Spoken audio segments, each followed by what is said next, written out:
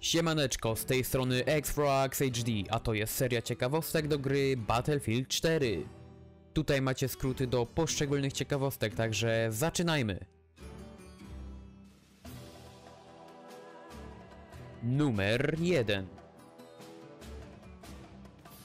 Na pewno często podczas pływania łodzią utykaliście na brzegu.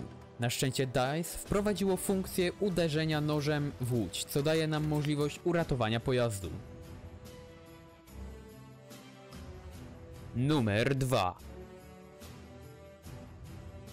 Pewnie wielu z Was myśli, że flashbangi są bezużyteczne. Otóż i nie.